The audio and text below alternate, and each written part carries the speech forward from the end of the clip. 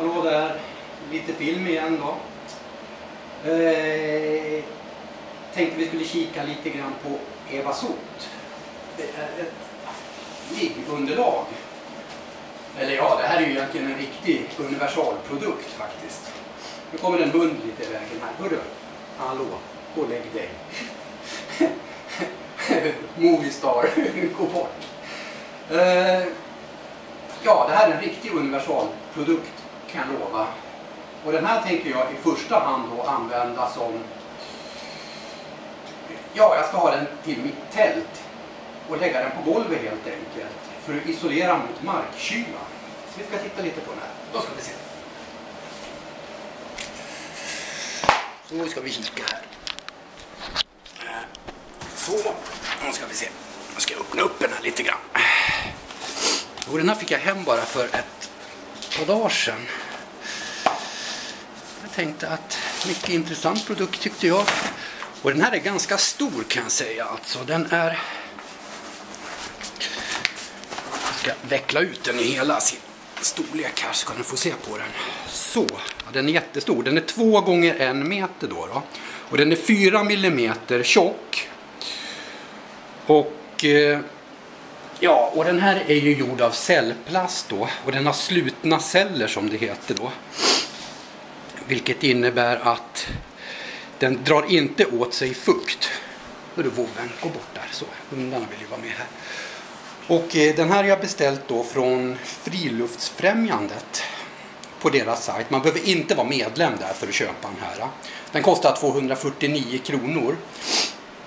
Eh, sån här, sånt här underlag kan man även köpa på Outnorth tror jag hade produkten också. Och det är av fabrikat Exped. Exped. Men där kostar den 595 kronor och det tyckte jag var på tok för mycket. Mm. Kan ni kolla lite på den så här? Ja, den är som sagt bara 4 mm tjock så den är väldigt flexibel. Eh, man kan även vika ihop den här då. då. Eh, om vi tittar så här, jag, jag rullar ju ihop den då men av transporttekniska skäl så är det även möjligt att jag ska visa, vika den också. Eftersom den är så tunn och smidig då så kan ni få se så kan man ju vika den väldigt lätt också då. då. Och ja, bero, beroende på då, vad man föredrar och hur man ska transportera den och så. Då. Den är väldigt lätt den här också, väger väldigt lite kan jag säga. Och som jag sa då, så den här tänker jag lägga ut då på över hela tältgolvet.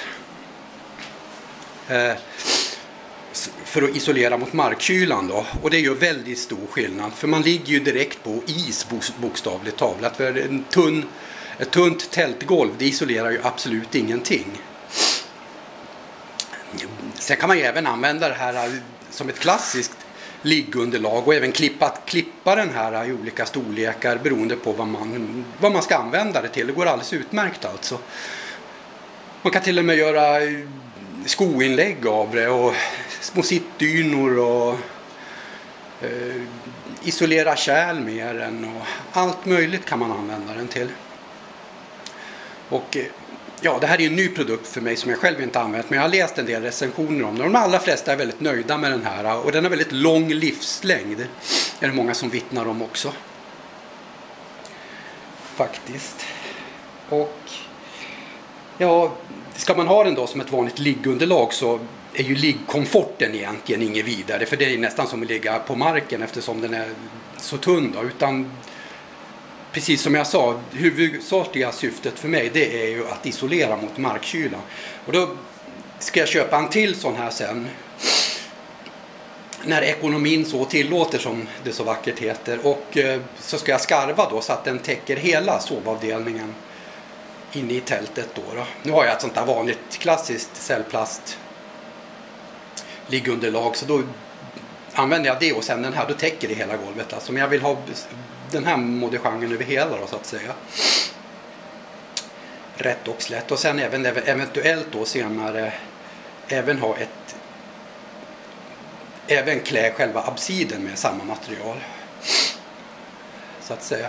Ja, de flesta som har använt det här till tält då, som markisolering då, de är väldigt nöjda med det. Det hjälper väldigt mycket enligt de recensioner som jag har läst då. då. Och det är ju Friluftsfrämjandets stora logga på den här också. Mm. Ja, jag har ju tidigare tittat då på i byggvaruhandel om jag kan hitta någon produkt motsvarande, men jag har inte hittat någonting liksom. Inte, inte av den här kvaliteten i alla fall, för det är ju viktigt att att det är ett underlag av högre kvalitet och framförallt att det har så kallade slutna celler då, så att det inte drar åt sig, suger upp fukt och väta helt enkelt. Det är ju väldigt viktigt. Och sen att det har en hygglig slitstyrka också så att inte grejerna börjar falla sönder i bitar efter någon månad eller någonting. Mm. Och jag beställde den här som sagt var eh, på Friluftsfrämjandets sajt. Då, då. Supersnabb leverans. Jag beställde på fredag, jag fick paketet på måndagen. Jag undrar vad sjutton har jag fått nu Jag kunde inte drömma om att jag skulle få grejerna så fort. Rätt och slätt. Så att, eh, ja. Och det är två, två meter gånger en meter. Så det, det, det är riktigt stort faktiskt. Så är det. Så, ja. Kommer vi visa lite mer av den här sen live då när jag är ute i tältet. Och då kan vi kan göra en liten uppföljning på den här då. då. Rätt, rätt och slätt. Så att eh, ja, så får man liksom se vad grejerna går för ordentligt och sådär. Eh, vi kör på det. Och så tackar jag för att ni tittar in. Hörs och syns. Hej så länge.